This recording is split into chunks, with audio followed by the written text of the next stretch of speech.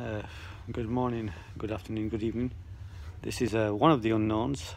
Uh, you know the other one. I've just got uh, another two to show who they are.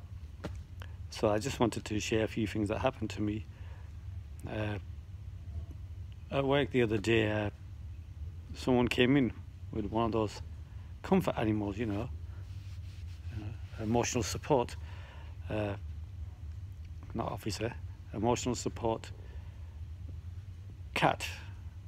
You can have dogs as well, you know, for your well-being, because people need comfort, they need to be attached to something. So this lady comes in with a cat on her shoulder, and I thought to myself, all my life, all my life, I heard of a cat in my eye, but I never heard of a cat on my shoulder. So yeah, so it? Cat rest, cat resting on my shoulder. Yeah, so I just play on with the with words. And that's all for now.